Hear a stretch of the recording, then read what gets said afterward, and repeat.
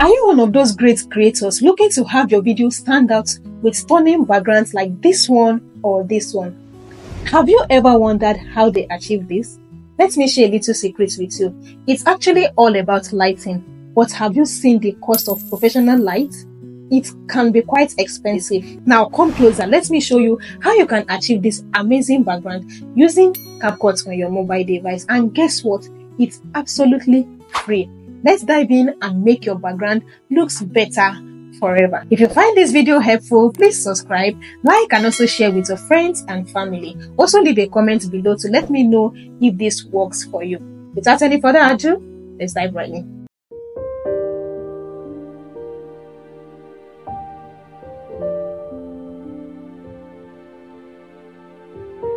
The very first thing you want to do is to update your CapCut so that you can have access to this feature and to do that you go to your app store or your play store and you search for CapCut like this.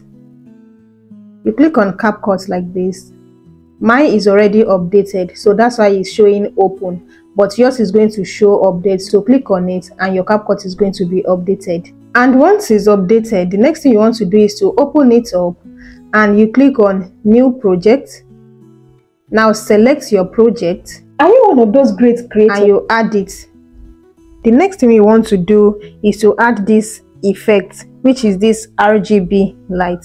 And to do that click on your video like this. And you scroll to the right. You can see it relight this relight icon you can see is free. So once you update your app you are going to see it there. So you click on relight. And the first one we are going to explore is this fascia. Now this fascia is like a natural light.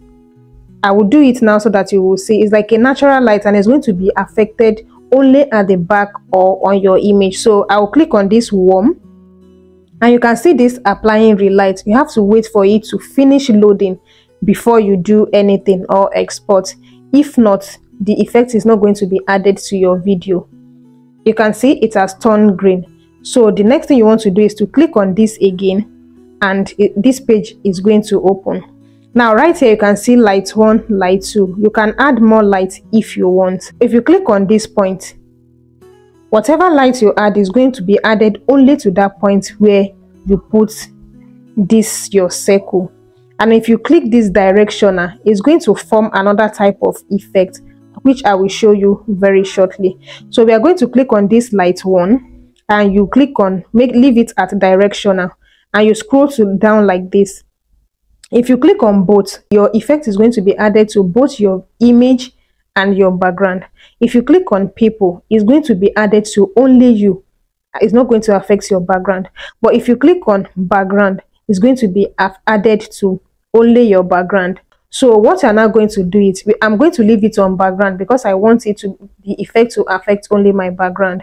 And you now come here and start adjusting your colors. Anything you do under here right now is going to be at the back. So just pick any color you want and keep adjusting reducing just make it to suit whatever you want. And once you are done click here to do it and you check it here Moving on to the method two, we are going to explore this ambient. I use this teal backlight for my intro video. So you are going to click on this teal backlight. You can see the difference between these two. You can see this color is just to the side. It's not at the back anymore. So click on it again and this thing is going to pop up. Remember to select only the background because that is what I want this light to affect. I have light 1, light 2 and light 3. Light 1 is this one light 2 is the one to my right which is this one and light 3 is the middle one which you are going to deselect because I don't you don't want the color to affect your image. I'm going to show you how you can deselect any color from yourself. Now click on light 1 and you're going to scroll down. Leave it on directional. It depends. You can leave it on point if you want but i'll leave it on directional and then i will select the color you want like this. Select the color.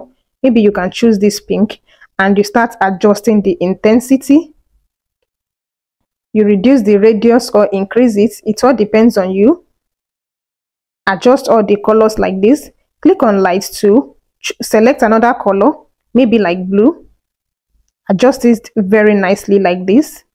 Or maybe you can choose pink again to fade it. Since i've used pink already let me choose another color. Maybe something like this. It all depends on on the color you want. Now to remove these colors from your image what you are going to do is to click on this light 3 and you scroll to the right like this.